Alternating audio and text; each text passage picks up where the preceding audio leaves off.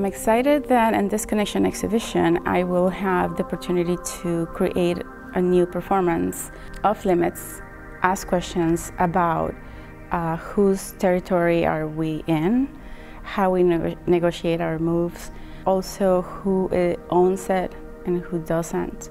So it is a conversation in motion in the gallery. The space we inhabit is also the way we, to indicate our existence. If when we lose our home, physically or just psychologically, it leaves us in a state of limbo to the other. And having that sense of safety, it creates a space of negotiation. In this piece, what I try to do is to acknowledge that negotiation between the space. Who owns this space? Is this space mine or do you rule this space? Are we all here to coexist?